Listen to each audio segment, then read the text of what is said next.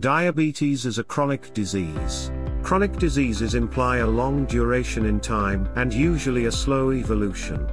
So far, some types of diabetes have no cure, but there are treatments that allow them to be controlled. The progression of the disease depends largely on the control we give it.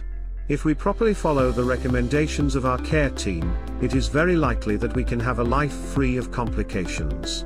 On the other hand, taking this condition lightly and not giving it the care it deserves could lead to severe complications. If you were diagnosed with diabetes, breathe calmly. You're not alone. There are more than 422 million people in the world diagnosed with this condition. In this video we will give you the first tool to fight diabetes. You will understand your health condition,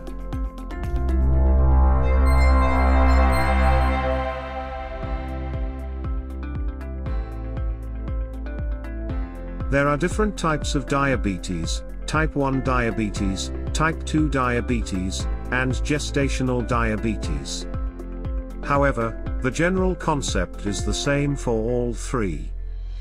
When we eat, our body increases its levels of glucose in the blood, and the hormones that regulate it, are not produced properly or the body does not respond to them adequately. Over time, this can cause problems with the heart and blood vessels, kidneys, our nerves, and even our eyes, among others. To avoid this, we must treat diabetes appropriately. Now you understand the general concept of diabetes. Stay with me. We said that there are three main types of diabetes. What differentiates them? Type 1 diabetes mainly affects young and adolescent patients. The pancreas of these patients does not produce insulin. For this reason, it cannot lower the level of glucose in the blood. On the other hand, type 2 diabetes is more common in adults.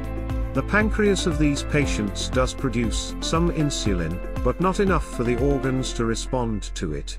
Therefore, glucose does not enter the organ and stays in the blood.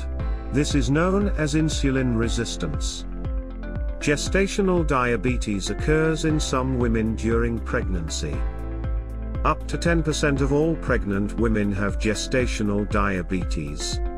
Most of these patients return to normal after giving birth, however, some may develop type 2 diabetes after delivery. For this reason, it is very important to maintain healthy lifestyle habits and periodic follow-ups after delivery. Producing this video, required working together with doctors, scriptwriters, graphic designers, animators, and our narration editor. We have a huge library of videos. Subscribe to our channel, and activate the notification bell to see them first. If you like the way we explain, and you want to sponsor one of our videos, please visit our website, or contact us at the email that appears on the screen. If you would like to support us, please become our Patreon. You will find a link in the description. Thanks for watching. See you in our next video.